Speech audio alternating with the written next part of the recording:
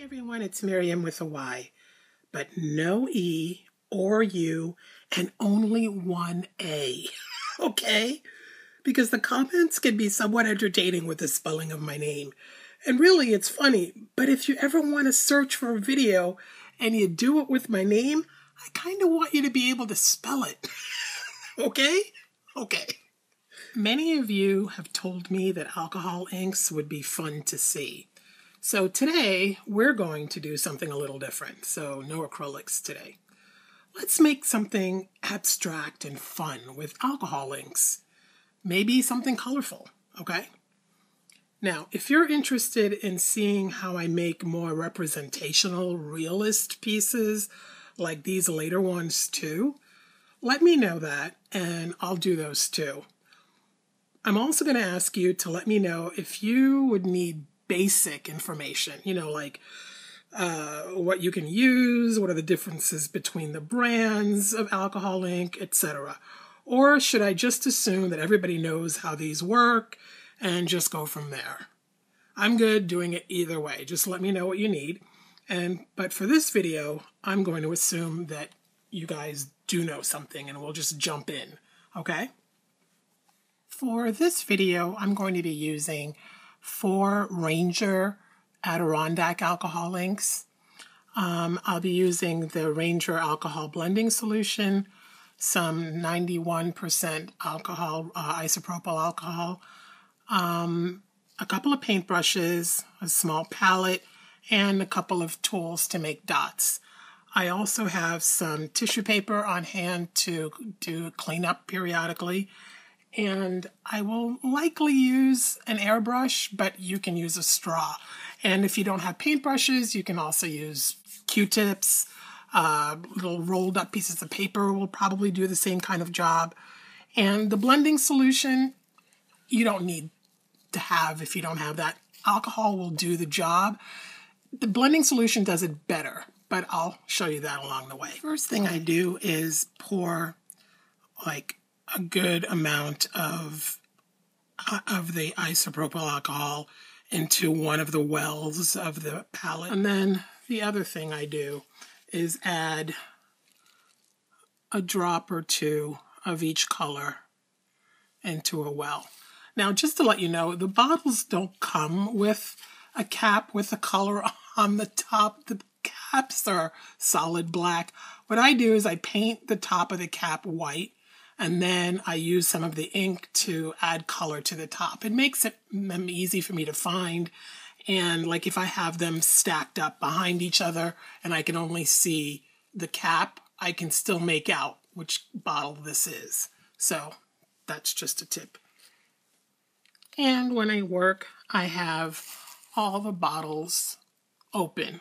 It just makes that easy because you don't want to have to be taking off a cap and putting it back on every time you want to add a color. And the bottles are designed to not be a problem if left open. So you don't have to worry about your ink is evaporating. The, the little opening here is so tiny, uh, that's not going to happen. So leave them open while you're working.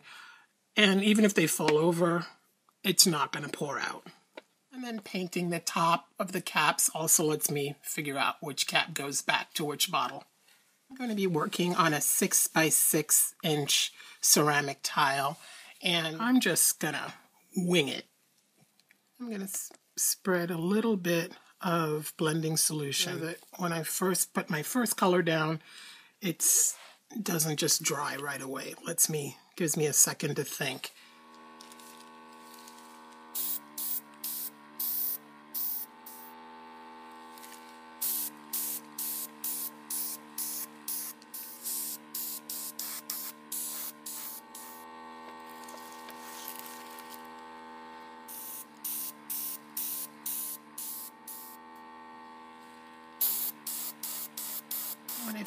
Dark spot like this, sometimes I leave them, but sometimes I'll just reactivate them, and I'm just doing that by dropping some alcohol on them, uh, on it, and it makes it spread and kind of thin out a little bit. The airbrush just helps me move inks in a way and also dries them very quickly. I mean, they will dry pretty quickly, but it lets me spread them out. Um, you can use a straw for that, definitely. Now, I like this. I like the airiness of this. And sometimes I'm into the finger thing, but I'm not for today. So I'm picking up some alcohol, just straight alcohol from my palette. And I'm just going to move it around. You don't have to worry about brush strokes so much if your ink is still really, really wet because it'll they'll just kind of melt away.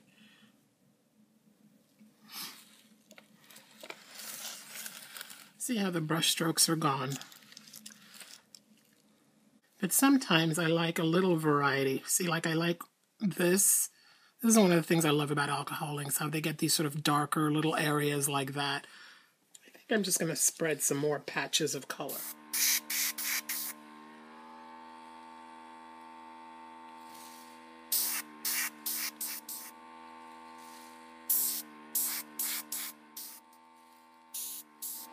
Into the fingers today. Though I don't mind these little spindly ones. I don't mind these little tiny spindly ones that happen. And those happen if I wait until the very last minute before this little area dries, the border. If I wait till then and then blow, I'll get I'll get those little spindly guys. Kind of want some purple.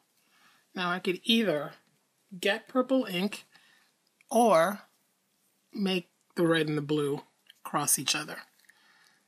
And I think I'll do that.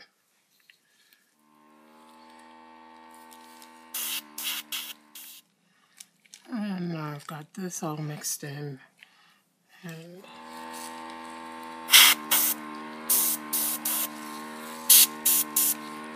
I like the purple, I'm sort of going to make some more. This, and the alcohol here, I'm just cleaning off my brush. And then I'll pick up some mm. blue, maybe add it to this area.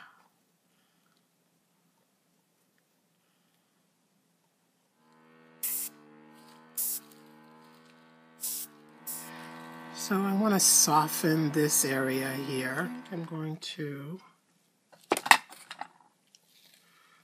put some blending solution down just a little bit.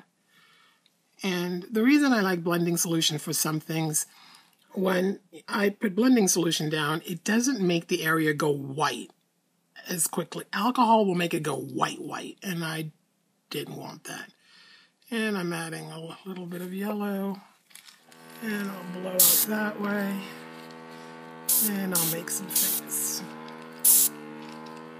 Some of these little guys.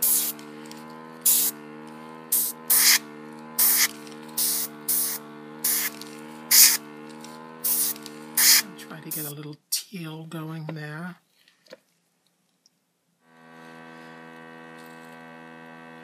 I'm waiting for the last minute so that I can get my little spindlies. If you do it too soon, you get big ones, but I want the little delicate ones. So I'm waiting for that was like a magic moment.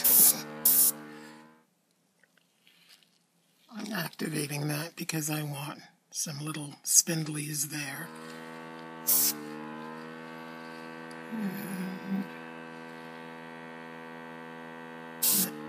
Now.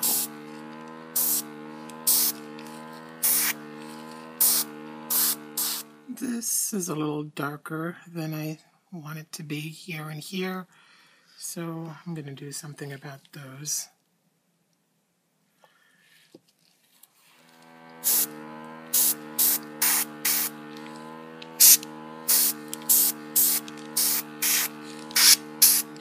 There are soft patches everywhere. And by soft, I mean like almost white, and there's even an actual white spot there, and I'm okay with that. So now what I'm going to do is I'm using this um, it's called a ball stylus i call it the dotting tool but if you were to look it up, it's called a ball stylus, and they come in all different sizes. And I have uh, one that has really tiny, tiny points, like a really tiny ball on the end, and one, this one has a bigger ball, and I'm going to start working with this one first. I mean, there's one that has a bigger still, but this one's big enough. And I'm just going to dunk this into, well, actually, I'll use this, this end, it's a little bigger. I'm going to dunk this into straight alcohol. And I'm going to now bring it over to a really pale area and just touch it and just leave it there. And then pull away. And the reason I want a pale area is if I do it in a dark area, when it makes the white dot that I want, it'll it would make too dark of a ring if I did it in an area like this. So I choose a pale area. And then I'm going to do it again because I want this to get a little larger. Alcohol just spreads the, pushes the ink away.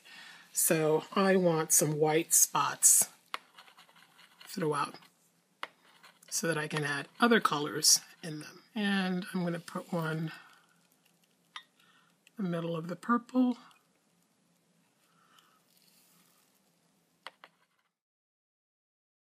As long as I don't do it in an area that's really concentrated, it'll have a very thin ring around it. I'll put one here.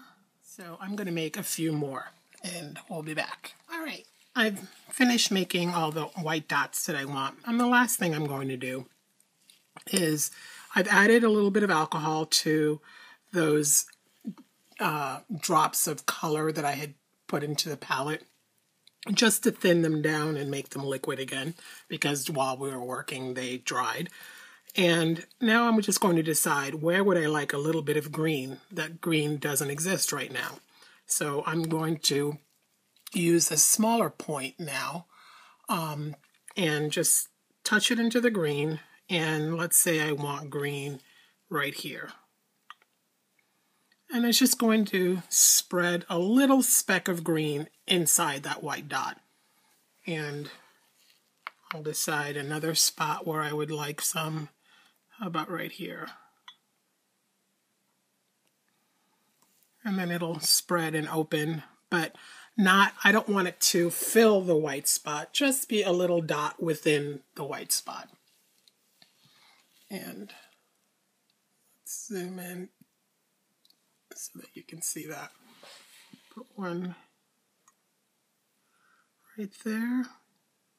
And now I clean off my tip to make sure there's no green left on it at all. And pick another color. So let's do red.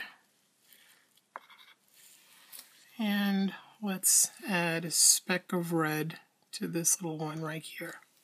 Well, that one filled it because it was a really small little space. So let's do some there. And then I'm just going to do that just to give dimension to these little dots. now to yellow after having cleaned the tool again. Let's see about here. And now some blue. And what's fun about um, alcohol inks is that you can just keep using pretty much the same drop of color over and over and over again. Unlike paint, once it dries, that's it. You can't like, you know, if it dried and you didn't get a chance to use it before it dried, oh well, you're out of luck. Uh, unless it's watercolor. But um, here, if you're, well, all I had put in here was a drop of yellow. And this is the same drop of yellow, but while I've been working on green and red, the yellow dried, so I added another drop of yellow and another drop of alcohol. And now my yellow is active again and I can use it where I wanted to put another drop, which was here. Now, if you're wondering, did I need to make the white dot first before adding another color? No, I didn't. I just wanted that look. But just to show you, I could have just come in and made a yellow dot on the blue. Oops, I don't have enough. Without having any white background. The yellow, this is what alcohol ink does. It pushes itself aside. And so if I wanted to add, let's say, a green dot, where am I going to put a green dot randomly? I wanted to put a green dot right here. The green would work without having the white background. But I kind of wanted the white background just to sort of get, frame them, give them a little bit more life and a brighter appearance, I guess. And since I've done a couple, I'm going to add some random dots that don't have a white border.